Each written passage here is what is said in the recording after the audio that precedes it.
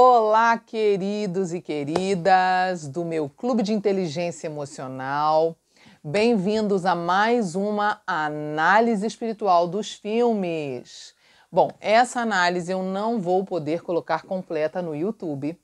Eu vou ter que deixar ela somente dentro do meu clube, porque eu vou falar algumas coisas que são complicadas, apesar de ser um filme que de repente você acha que é somente uma diversão, que não tem nada espiritual, você se engana. Se você acha que esse filme não tem uma mensagem subliminar barra pesada, aí é que você vai se chocar com essa análise. E quem acha que está no óbvio, que está nos tiros, que está ali naquela questão da violência, também você vai perceber que não é por aí se prepara. Agora, antes de eu começar essa análise, eu preciso dizer para você que ainda não assistiu o filme que essa é uma análise onde eu vou dar muitos spoilers, ou seja, eu vou falar o filme inteiro aqui. Eu vou falar como é que o filme termina, vou falar sobre o final do filme, vou contar o filme todo, vou mencionar um monte de coisa do filme. Então, se você não gosta de spoiler,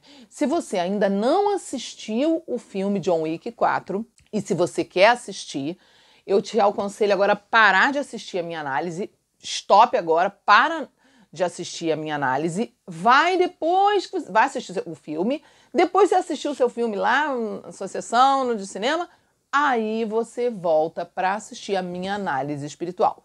Beleza? Então você está avisado, você está avisada, porque eu vou falar tudo desse filme. Então, quem não assistiu e não gosta de spoiler, você tem que parar por aqui. Beleza. Então vamos começar a falar um pouquinho sobre esse filme John Wick, capítulo 4, ah, Para quem não sabe, John Wick é a história